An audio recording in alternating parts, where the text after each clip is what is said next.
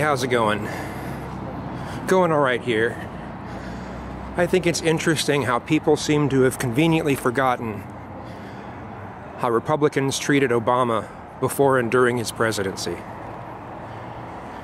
How about the birthers, including Trump, claiming that Obama isn't a legitimate president?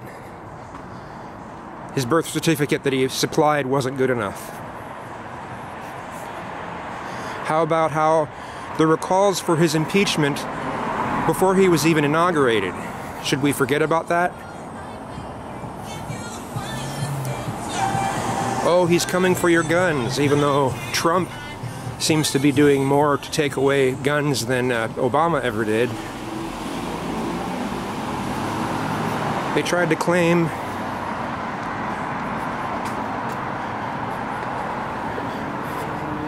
that he's weak on terrorism. And yet he was one of the most warmongering presidents we've had. How does that work? Then there's, I mean,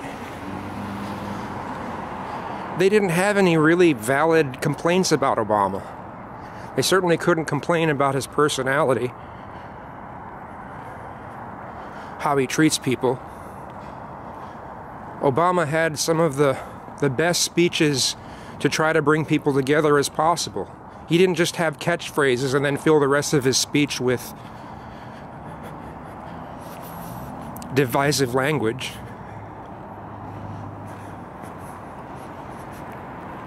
He actually tried to bring people together. Trump, on the other hand, well,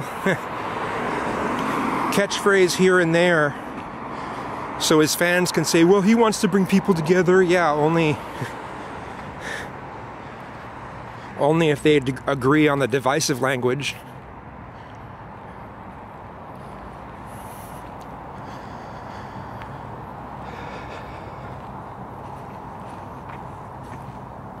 After the way that Obama was treated during his presidency,